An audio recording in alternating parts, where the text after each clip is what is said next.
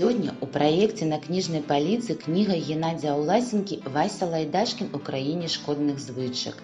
Жыў сабе хлопчык Вася, самы звычайны хлопчык, вось толькі мянушка ў яго была не зусім звычайная, Лайдачкін, бо не любіў наш Вася ні вучыцца, ні працаваць. А вось лайдачыць любіў. Ранішнюю зарадку Вася ніколі не рабіў, твар і шыю мыў толькі пад маміным прымусам. А ўжо як не хацеў ён зубы чысціць, Таму і пасябравалі з Васей Лайдашкіным шкодныя звычкі. І не проста пасябравалі, а нават да сябе ў госці запрасілі ў краіну шкодных звычак.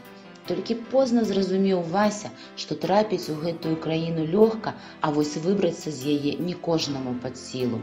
Вася Лайдашкін не зусім станоўчы казачны персанаж, але ў яго ёсць шанец выправіцца, асабліва пасля тых неверагодных здарэнняў, што адбыліся з імі на старонках гэтай кнігі.